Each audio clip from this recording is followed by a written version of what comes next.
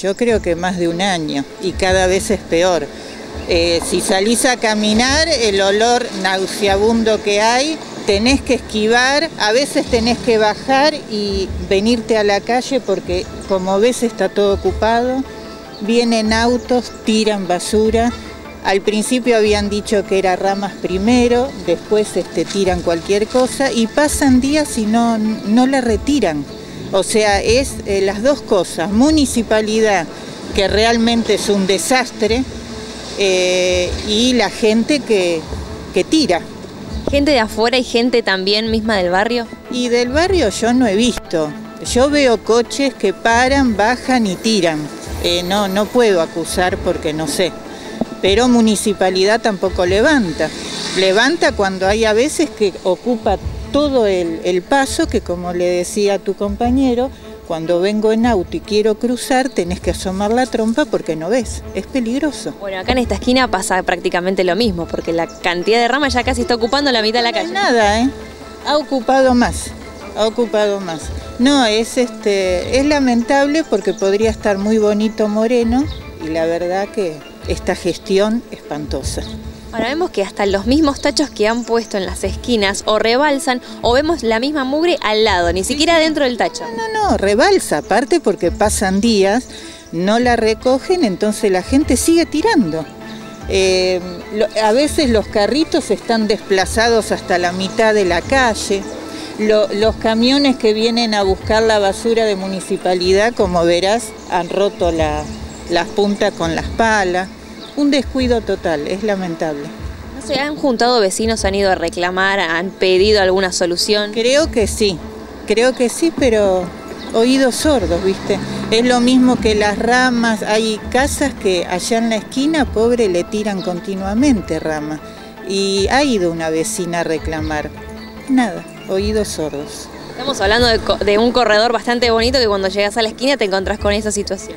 Claro, yo que salgo a caminar como muchas eh, personas, mujeres, hombres, eh, primero el olor y segundo, como te digo, tenés que bajar porque no podés cruzar. No deja de ser un foco infeccioso también. Sí, el olor es impresionante. Te tenés que tapar la nariz, así. Que es un asco. ¿Qué puedo opinar? ¿Qué te parece todo? ¿Han hecho reclamos? Yo personalmente no, pero sé que gente ha hecho. Pero que vos ves bajar a camioneta 4x4 que viene y tira la basura acá. Que no son vecinos de la zona. No, que no son vecinos. No sé si por su lugar no pasan, pero la consecuencia la pagamos todos. Porque no es que arrojan las ramas. Bueno, vos ves lo que es. Es basura que tiene que recolectar el, el residuo, no es que para dejarla en la calle. Pero bueno. Se juntan ramas, se juntan basura, se juntan los olores. Lo de las ramas pase y pase.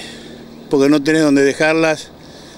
Cuando me cortan el pasto a mí lo tengo que meter en bolsa y las pongo ahí también, adentro. Si está tapado, no, lo guardo para otro día. Es muy simple, entonces existe respeto por el otro, todas las demás leyes no hacen falta.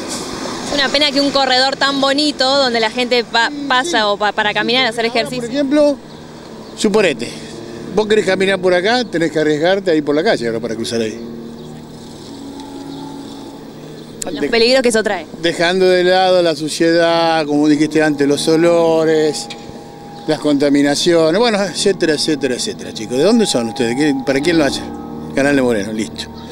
Bueno, espero que se logre algo con esto. Pues ya han venido otras veces en municipalidad, han sacado fotos, todo, pero todo bien y después... La otra que hicieron, bueno, la municipalidad trajo estos containers. El que estaba a la esquina me quedó y se rompió. Después cuando lo venían a correr, lo ponían en cualquier lado.